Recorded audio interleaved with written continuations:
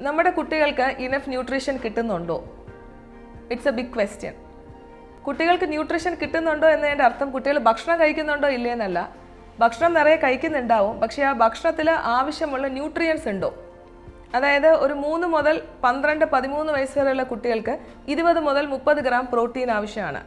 അതൊരു ദിവസം കിട്ടുന്നുണ്ടോ? അത് ഈസിലി നമുക്ക് ചെയ്യാവുന്ന കാര്യമാണ്. ഒരു മുട്ട ഒരു ഗ്ലാസ് പാൽ കുറച്ച് നട്ട്സ് ഒരു രണ്ടോ മൂന്നോ പീസ് ചിക്കൻ അല്ലെങ്കിൽ ഒരു ചെറിയ കപ്പ് കടല ഇതെല്ലാം കഴിച്ചാൽ ഈ പ്രോട്ടീൻ കിട്ടുന്നുണ്ട്.